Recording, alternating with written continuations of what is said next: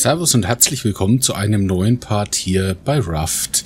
Wir sind das letzte Mal ja hier in Tangaroa endlich gestrandet. Ich habe mich zumindest noch ein bisschen durch die Gänge gewühlt und jetzt sind wir im Grunde angekommen hier in diesem Container-Dingensen hier und da möchte ich natürlich mit euch möglichst zügig durch und mal schauen, wie zügig ich das schaffe. Also das erste, was ich jetzt mal mache, ist ganz klar, wir, wir gehen erst einmal hier rüber. Hoch. Wir schnappen uns diese Kiste. Lassen die runter. Dann ähm, diese runter. Dann muss ich mal überlegen. Ich glaube, der hier muss nach oben. Ich, ich denke, das ist jetzt der, der schnellste Weg, den man machen kann.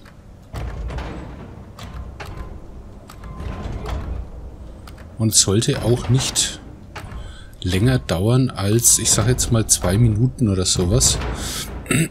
so. Hier rüber, das Ding hier runter. Dann muss der hier runter. Dann der hier muss runter. Jetzt muss ich überlegen. Ich glaube... Der hier war's. Rüber. Dann den nach oben. Dann muss ich... Oh, das, also ich weiß den nicht mehr so hundertprozentig. Den Weg, aber so ungefähr habe ich es noch im Blick. Der hier. So. Dann muss der nach unten. Ah, manchmal ein bisschen verwirrend das Ganze. Aber ich glaube, wenn man das so ein, zwei Mal gemacht hat,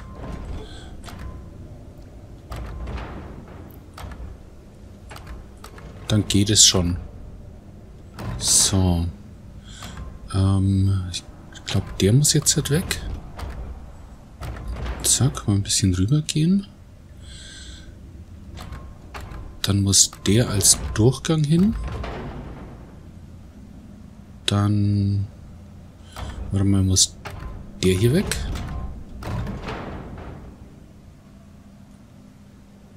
Ah ja, doch. Der hier muss weg. Und der hier muss nach oben, weil dann haben wir nämlich das da frei. Und dann, na, rüber. Dann muss... Boah, jetzt muss ich echt überlegen ganz kurz. Ich glaube, der muss hier rüber. Und dann müssen wir die Kisten nur noch nach unten schieben. Und dann sollte es sogar passen. Wir können hier durch, wir können hier runter in den Raum und wir können da zur Tür raus. Jep. Relativ schnell, also ich sag mal eineinhalb bis zwei Minuten ungefähr und dann hat man das eigentlich gelöst. Also wer sich das merken will oder sowas, ich werde es auf jeden Fall irgendwie so verlinken, so betiteln, dass jeder, der Hilfe braucht bei dem Containerrätsel, das dann auch wirklich schaffen kann. So, wir gehen jetzt erst einmal in den Raum hier und holen uns die Sachen, die wir da haben. Unter anderem natürlich super leckeres Titanerz. So. Tschuk, tschuk. Ach ja, und da habe ich das, okay. Da war ich mir jetzt eben nicht mehr sicher. Ich, da bin ich mir nie sicher mit diesem Ding, ne? So, dann sind wir nämlich auch schon da. Und haben den ersten Plan. The engines are done. People upstairs are already upset about the extreme rationing. Now we're at the mercy of the waves. And those rafts on the horizon are coming closer by the hour. I'm sealing up the reactor now. I don't care what Captain Tully says. I really could have used you here, Hannah. Okay.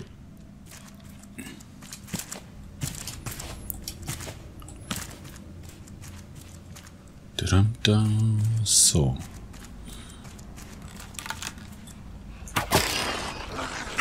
Autsch. Das war die Rache, ne, weil ich dich erwischt habe. So, lass dich aufsammeln. Dankeschön. So, jetzt kommt ja dann das mit dem Wasser. Und da bin ich mir immer nie sicher, ne? Weil hier kommt man ja nicht rein. Das ist ja zu. Und mit dem Wasser, wenn ich das jetzt halt flute, bin ich mir nie sicher, wo ich jetzt halt ähm, hin muss. Ah, genau. Da.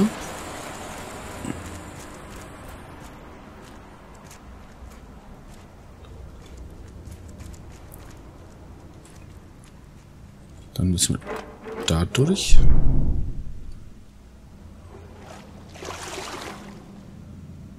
Generator Storage Area Plantation. Ah ja, stimmt, stimmt, stimmt. Ja, einmal hier im Kreis und dann ist man eigentlich auch schon wieder an dieser Leiter hier.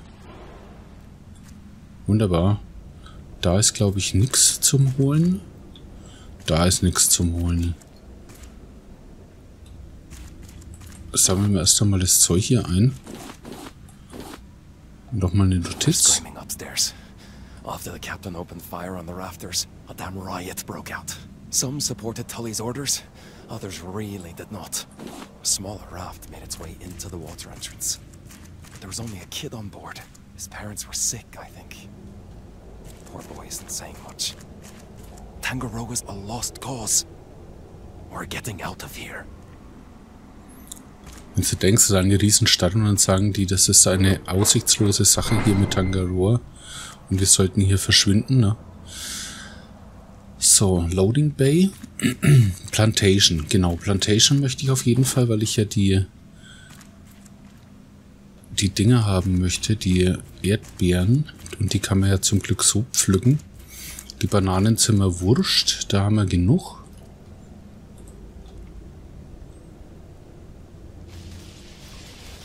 Ah ja. Äh, das Stromgehopse.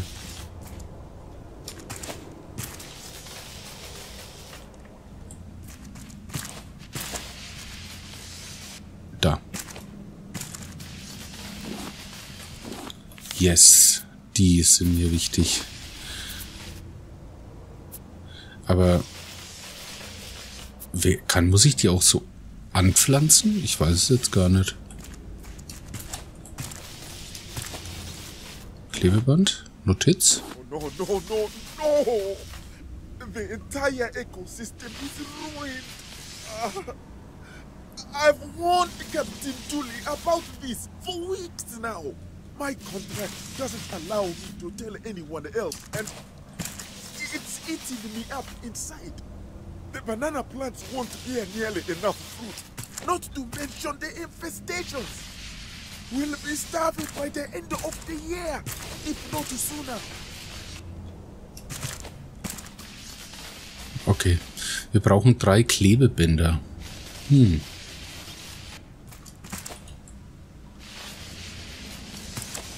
Nummer zwei. Ja, ja. Stell dich nicht so an.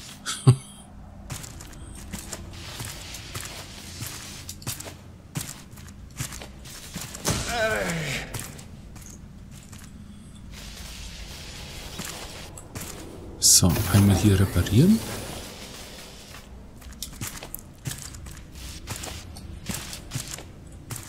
Da sind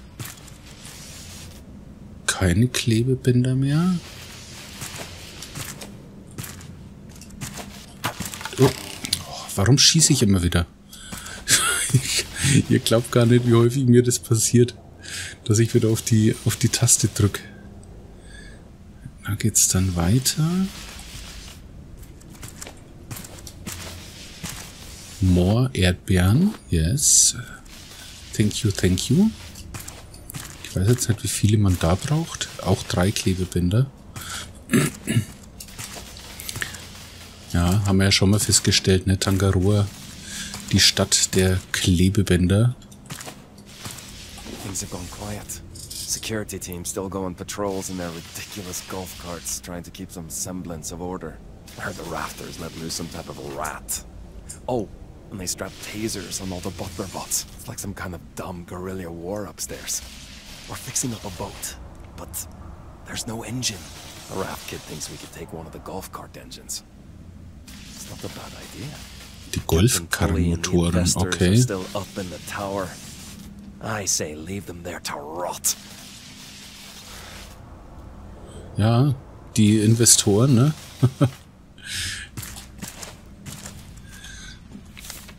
so. Naja, okay. Ich habe Erdbeersamen bekommen. Ich habe schon Angst gehabt. Schrott nach oben, Titan nach oben. Das kann ich dann essen, wenn es runtergeht. Trinkenmäßig habe ich noch. Das passt. Ich habe auch noch meine 30 Pfeile. Wunderbar.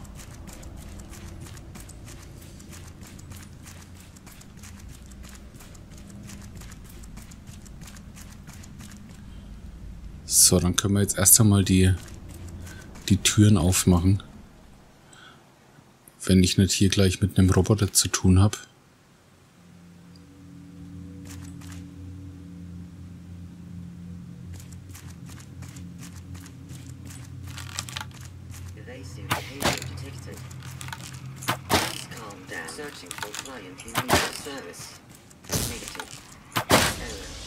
Okay, vier Pfeile sind es immer, alles klar.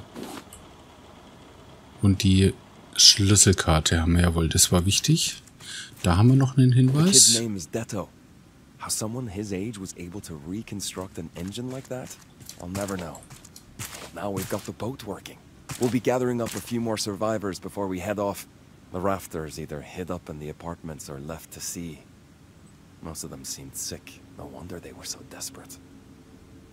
We need to hurry. Those large rats that came with the rafters are aggressive. I say let them chew Tangaroa into pieces. I'm coming for you, Hana. Remember the place we heard about? The sanctuary? We'll meet there. I know it. I'll see you there. Utopia. Utopia. Okay, machen wir mal das erste Tor auf.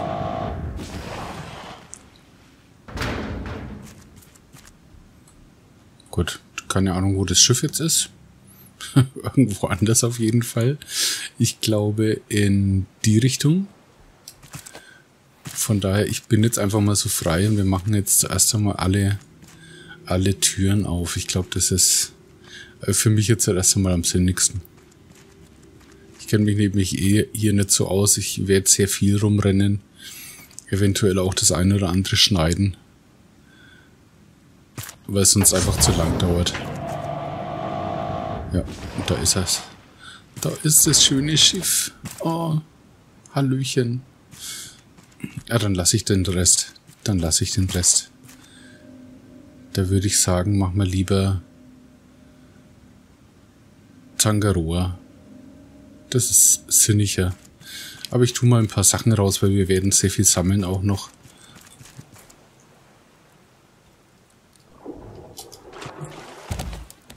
So. Ich verräume mal das Zeug und dann werden wir loslegen. So, und da sind wir auch schon wieder. Ähm, ich hatte jetzt bloß gerade das Problem, dass das äh, Spiel irgendwie ausgestiegen ist. Jetzt wollte ich weitermachen, aber ich konnte noch nicht einmal mehr meine Waffen wechseln. Ich konnte nicht ins Menü und gar nichts. Zum Glück speichere ich jedes Mal, wenn ich ins Pause-Menü gehe. So, lasst uns mal gucken, ob wir...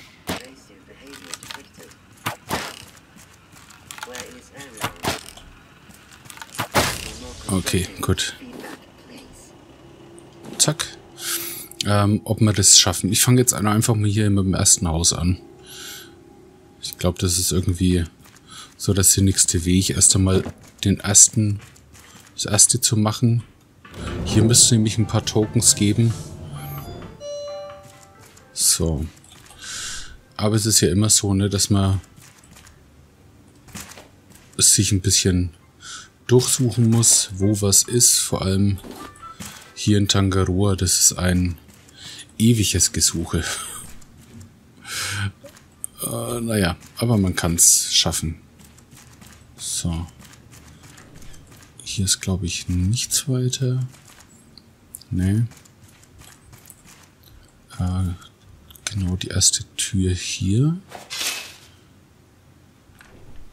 Muss nur mal aufpassen wegen diesen Ratten, weil die halt auch überall sein können. Ist, also foltert mich nicht, wenn ich jetzt halt irgendwo eine Münze übersehe oder so.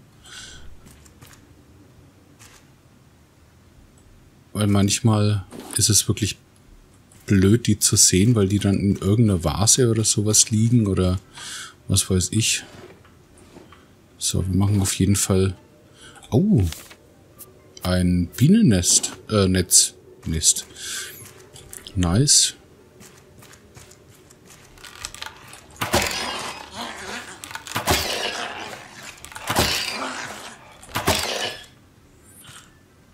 Das ist nice. Gibt's wieder Steaks? Das andere habe ich ja verräumt, ne? Das wisst ihr ja. So. Oh.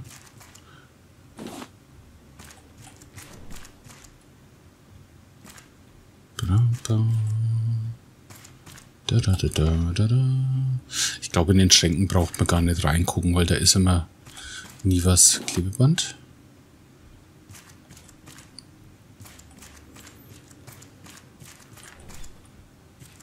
Also, oder, oder zumindest selten halt was Sinniges, ne? Dass ich da mal. Ah, äh, dass ich da mal irgendwie sowas finde wie ein Netz ist auch very selten.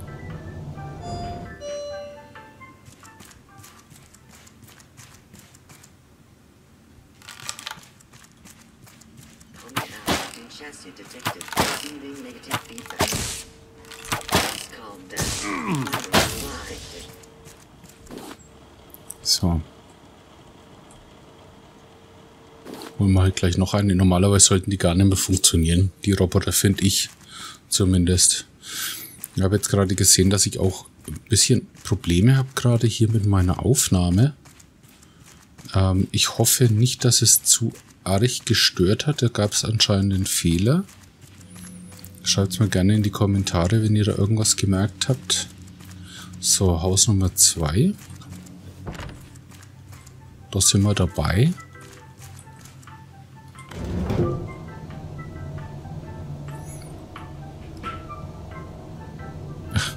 Ja, die Kassette werden wir dann auch finden. Ah, ich sehe schon, da ist irgendwie ein Error.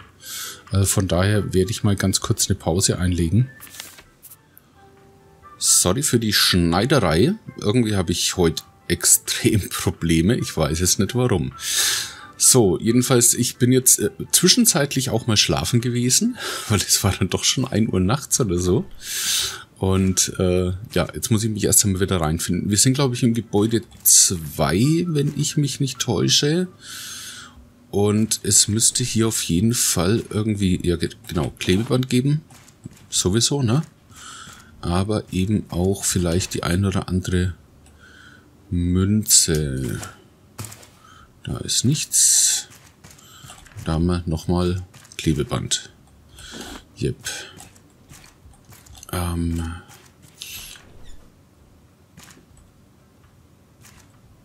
Schauen wir mal hier. Da könnte natürlich auch wieder mal eine Red sein. Jawohl. Ach, ich bleibe einfach stehen. So. Okay, schauen wir mal. Da haben wir nichts. Und ich möchte vor allem nicht nochmal hierher kommen. Ich möchte deswegen nach Möglichkeit alle Klebebänder, alle Münzen, eben alles mir holen, was irgendwie holbar ist.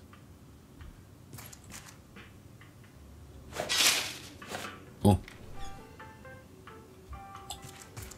Hier haben wir einen Safe. War nochmal eine Münze irgendwo? Nö. Schön. Titan. Da könnte ich eigentlich die Melone mir mal reindrücken, weil das bringt ja auch Flüssigkeit. Also auf jeden Fall getränkemäßig bin ich gut ausgestattet. Also im Grunde ist hier nichts in dem Bereich. Dann fahren wir mal noch eins hoch. Wir haben ja noch den achten Stock.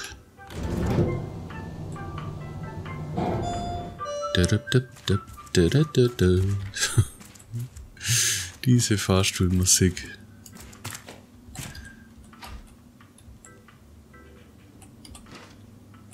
So. Ich schau halt, ne? Könnte sein, dass irgendwas drin ist, wenn es nicht gerade so ein Steinpfeil ist. Ähm, Münzle? Irgendwo? Also ich, ich rushe auch hier so ein kleines bisschen durch. Also wenn ich vielleicht mal den ein oder anderen Schnitt mache, weil ich eh bloß am Laufen bin, dann ist es so. Halt, da haben wir ja auch noch eine Wohnung. Das ist bestimmt auch wieder eine Red, oder? Und... Oh.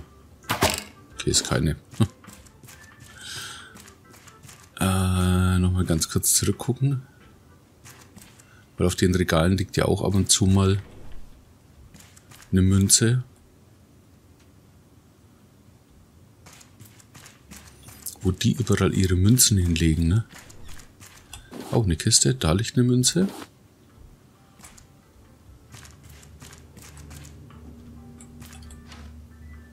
Klebeband.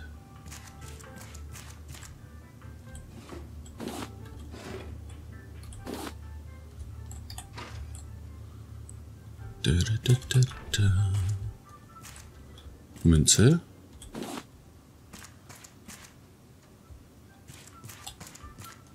Sah so aus, als wäre oben auch eine Münze gelegen, weil das Buch hier so geglänzt hat.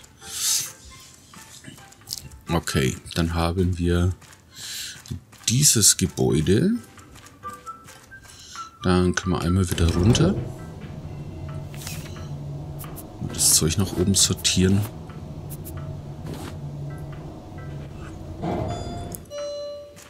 So, der Bogen ist jetzt auch dann gleich durch. Dann gehen wir weiter ins Nummer 5.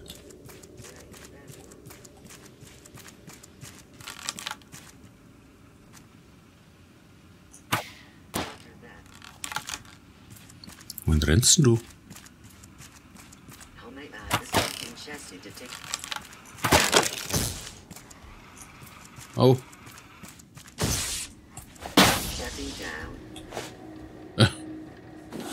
Okay, wie gut, dass ich jetzt die Machete so schnell noch nehmen könnte. Also Nummer 5 ist dann das dritte Gebäude, wo wir reingehen.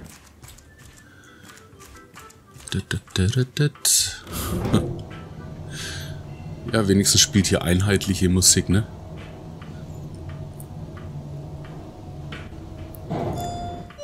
Ui. Ernsthaft jetzt? Musst du das rumhopsen?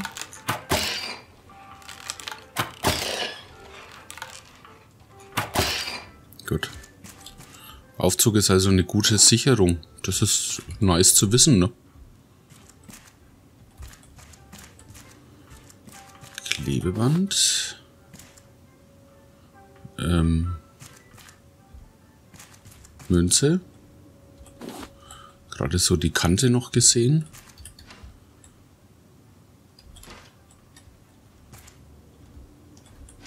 Ich glaube, in den oberen Schränken ist immer nie was. So, schauen wir mal da noch.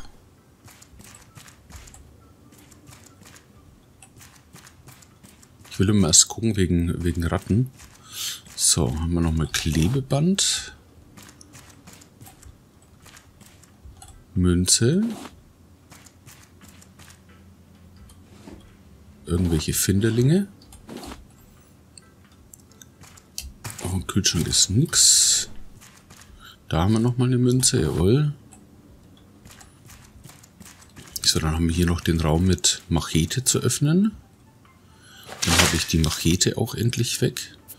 Habe ich den Haken gefunden? Ich glaube, ich habe ja keinen mitgenommen, ne? Interessant. Nochmal eine Münze und eine Kiste. Ja, und wieder anderes Zeug, ne? Okay. Damit hätten wir dieses Gebäude auch geschafft. Und von der 5 gehen wir jetzt... Ich glaube, links rum war das. Ja, ich habe noch alle Pfeile. Ui,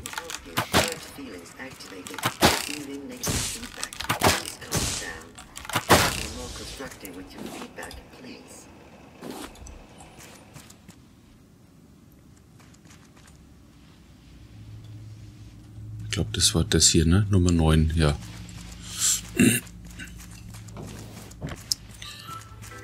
So.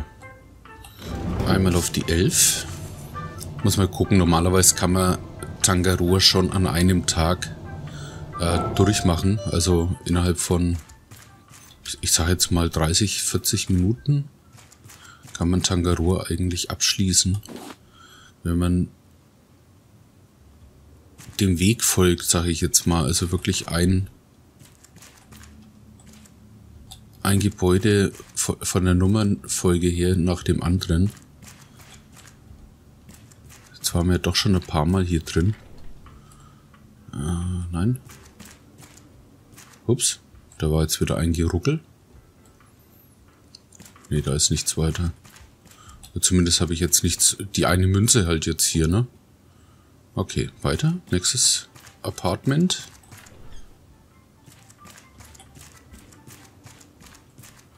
Ich gehe nach hinten durch erstmal. Von hinten anfangen, ne?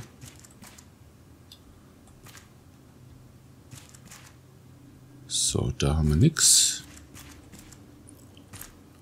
Regallicht nichts. Da haben wir wahrscheinlich wieder einen Koffer oder irgendwas. Oder? Nee, Feschbarbox. Eine Feschbarbox mit einem Rezeptler.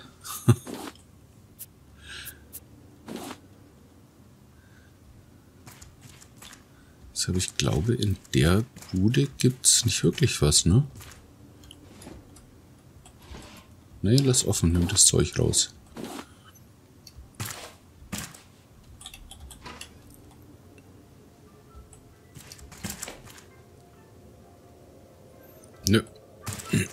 Können wir quasi direkt wieder gehen. Ähm, 11, genau. Jetzt noch auf die 13 schnell.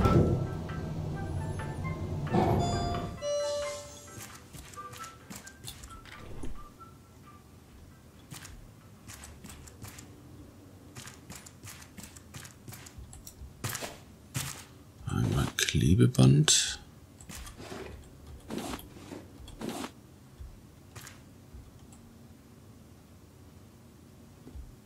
Münze.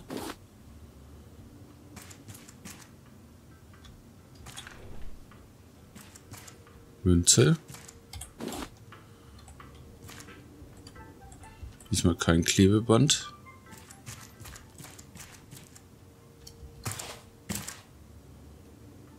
Nee. Passt schon.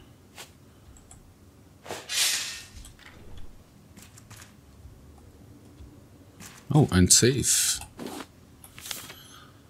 Das ist natürlich nice. Super. Ich hau mir die jetzt mal rein, weil die... Na gut, dafür habe ich jetzt die Schüsseln drin. Ich wollte gerade sagen, die nehmen mir jetzt eigentlich bloß Platz weg, aber ich habe die Schüsseln, die ich dann aufhebe. so. Äh, nein. Dann schauen wir hier noch rein.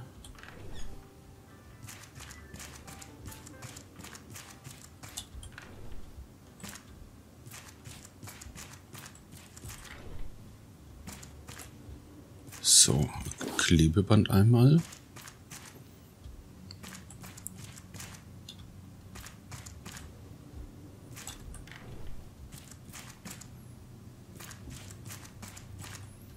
Also äh, durch die Scheibe, ne, ähm, gehe ich jetzt nicht, weil das äh, es bringt nur Loot. Ich glaube, ähm, da findet man nicht wirklich was. Notfalls muss ich halt da nochmal her, aber so viel ich weiß, ist da ist da halt einfach nur ein bisschen Loot zu finden.